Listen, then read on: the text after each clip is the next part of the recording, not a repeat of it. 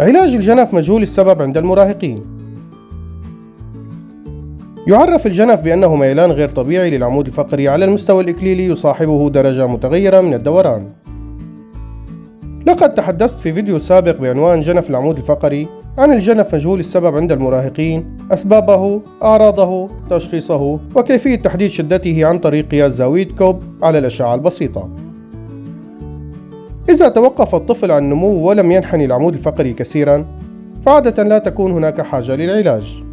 أما إذا كان الطفل في طور النمو، فإن زاوية كوب تحدد نوعية العلاج. تشمل الخيارات الرئيسية لعلاج الجنف مجهول السبب المراقبة واستخدام الجبائر والجراحة كالتالي زاوية كوب 10 درجات أو أقل لا حاجة إلى متابعة خاصة فقط الفحص الروتيني للطفل مثل هذا الميلان البسيط شائع وليس له أهمية سريرية. نوصي بالمراقبة للمرضى الذين لديهم زاوية كوب أقل من 25 درجة. تتم متابعة المرضى كل 6 إلى 9 أشهر حتى بلوغ الهيكل العظمي. نقترح تمارين لتقوية الظهر. على الرغم من محدودية الأدلة على فعالية العلاج بالتمارين الخاصة بالجنف إلا أنه من غير المحتمل أن يكون ضارا. إذا تم الحصول على صور شعاعية بالمتابعة وازدادت زاوية كوب بمقدار 5 درجات أو أصبح الميلان أكثر من 25 درجة فيستطب باستخدام جبائر التقويم. استخدام الجبائر فعال فقط في التشوه المرن لدى المريض غير الناضج هيكليا. لا تصحح الجبائر التشوه الموجود وقت التشخيص لكنها تقلل من خطر تفاقم الانحناء إلى أكثر من 45 درجة عند النضج الهيكلي وهو الحد المعتاد للجراحة. ترتبط فعالية الجبائر ارتباطا مباشرا بعدد الساعات التي يتم فيها ارتداء الجبيرة يوميا. نطلب من المريض ارتداء الجبيرة 18 ساعة في اليوم. في الحقيقة 13 ساعة قد تكون كافية. يمكن التعامل مع معظم حالات الجنف باستخدام جبيرة تقويم صدرية قطنية عجوزية تحت الإبط. المعروفة أيضا باسم جبيرة بوستن من السهل نسبيا إخفاء الجبيرة تحت الملابس ومقبولة بشكل جيد عند معظم المرضى. تشمل الأنواع الأخرى من الجبائر جبيرة شارلستون وجبيرة بروفيدنس والتي تم تصميمها للارتداء في الليل فقط وجبيرة ملواكي. يمكن ممارسة العديد من الرياضات أثناء ارتداء الجبيرة ويمكن إزالتها في الرياضات التي لا يمكن ممارستها أثناء ارتدائها كالسباحة أو الجمباز. يجب رؤية المرضى بعد فترة وجيزة من التركيب لأول مرة لإجراء التصوير الشعاعي مع الجبيرة للتأكد من أن الجبيرة مناسبة بشكل جيد. ستعمل الجبيرة الملائمة على تحسين زاوية كوب أثناء ارتدائها. نراقب المرضى سريريا وشعاعيا كل خمسة إلى ستة أشهر حتى نضج الهيكل العظمي. يجب تقييم ملائمة الجبيرة وإجراء تصوير شعاعي مع وبدون الجبيرة لتقييم تطور التشوه.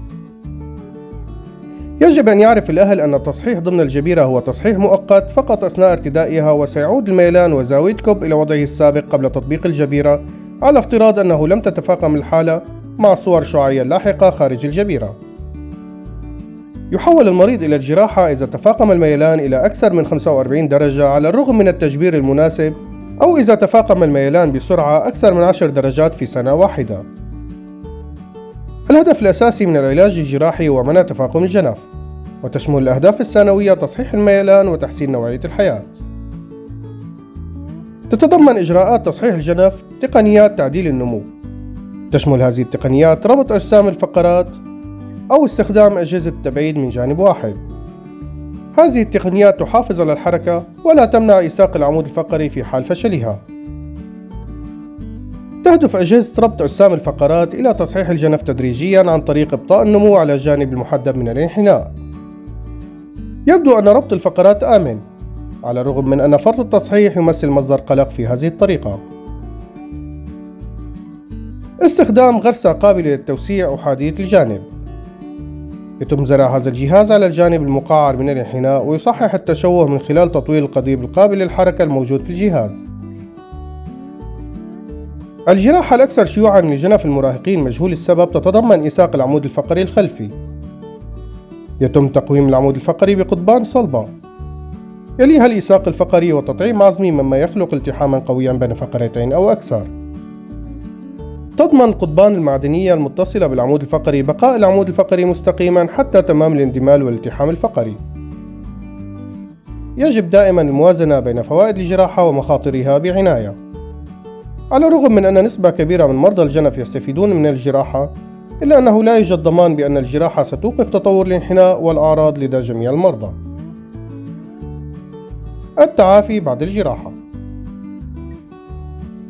يجب مراقبة الوظيفة العصبية لمدة 48 ساعة بعد الجراحة لأنه قد تحدث إصابة عصبية متأخرة. يتم تخريج معظم المرضى من المستشفى في غضون أسبوع من الجراحة ولا يحتاجون إلى جبيرة بعد الجراحة. يستطيع معظم المرضى العودة إلى المدرسة أو العمل في غضون أسبوعين إلى أربع أسابيع بعد الجراحة. ويمكنهم استئناف جميع الأنشطة في غضون أربعة إلى ستة أشهر. بمجرد أن يلتحم العمود الفقري يسمح بجميع الألعاب الرياضية. مع استثناء محتمل للرياضات التي تتطلب الاحتكاك الجسدي ككرة القدم مثلا. عادة لا يتم إزالة الغرسات المعدنية المستخدمة في تصحيح الجنف ويمكن إجراء التصوير بالرنين المغناطيسي بأمان بوجودها.